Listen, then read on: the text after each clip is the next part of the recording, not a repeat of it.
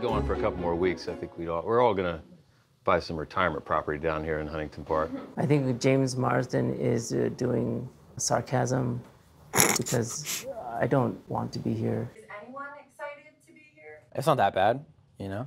Oh, look how cool he is now. Did you book it? I haven't, I haven't heard anything yet, but let's just say I've heard some rumblings. God, I just wish I could tell you guys more. I know you want to know.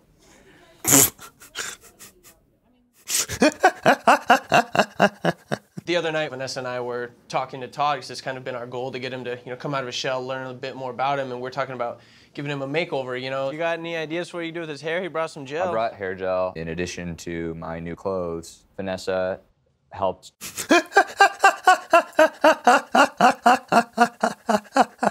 Mr. Morris has decided to represent himself. Would you please uh, state your name for the record? Uh, hi, Trevor Julian Morris. Thank you. And where do you currently reside? Why is the judge going along with this?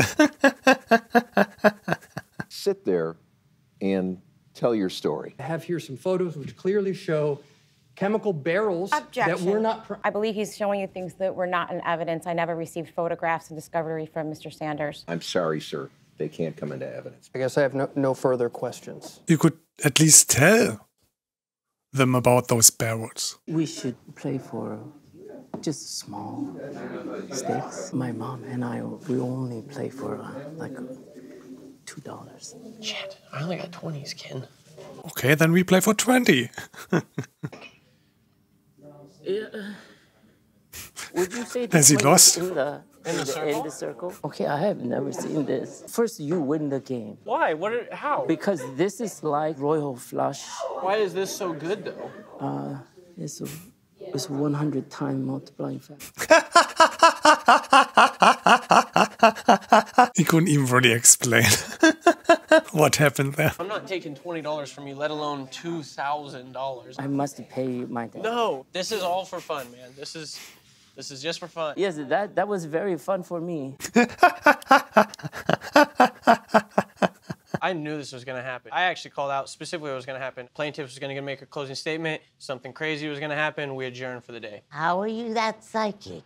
Because this happens every day, Barb. There has not been a single day that we've had that's just been smooth. There's always something crazy that comes up. This is literally feels like reality TV. Jules? Oh, it's You didn't get on, the hang on. roll, Real- huh? Real quick, real quick. You're not going to be in Lone Pine. I'm sorry. Ross's birthday? I'm gonna ask if y'all can do something together. So we'll do cake? Wait, how are we gonna pay for this? Ronald, you made two grand today. Damn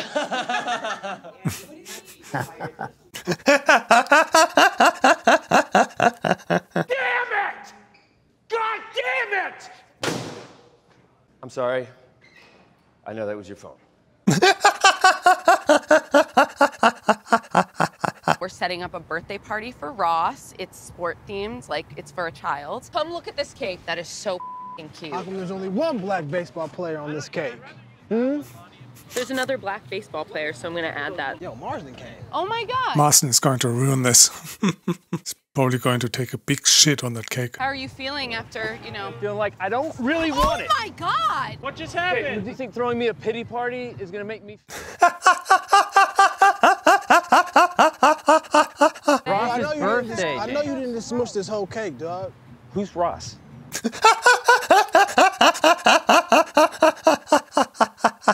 you weren't doing this for me. No. This is for Ross, his birthday. What is he, 12? why, why are we throwing a grown man a birthday party? What are you talking about? Why wasn't this for me?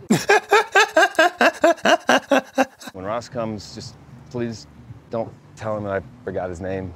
All right? just give him a happy birthday. This is f***ing insane. Do you think he'll notice?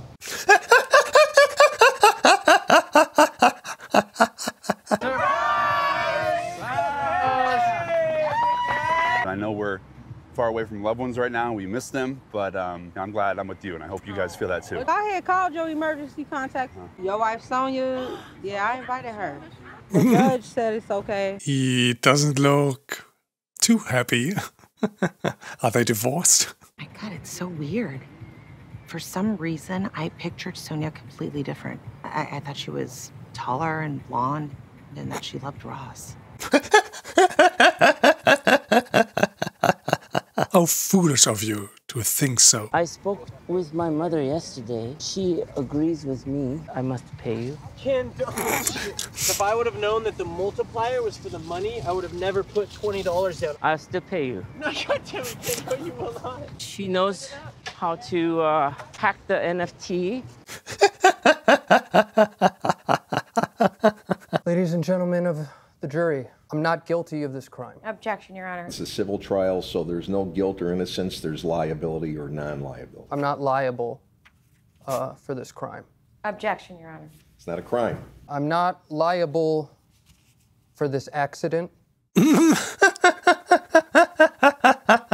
Defense never presented any evidence of chemicals. Well, I'm just gonna keep going. Serious poisoning caused by inhaling bromine may have long-term. Sustained.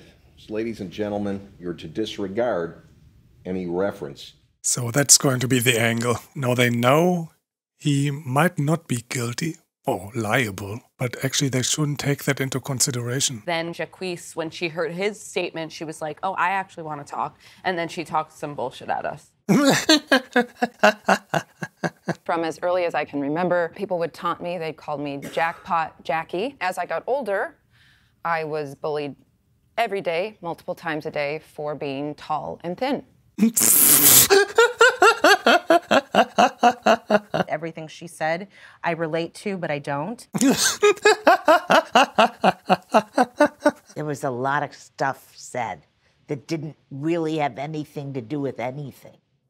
Yes, I come from a wealthy family. Is it my fault that rich? I was born with a credit card in my mouth?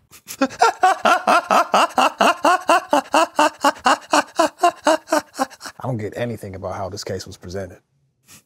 I know you feel bad for Mr. Morris, but what about me? Yeah, what about you? Thank you. that was it. But what about me?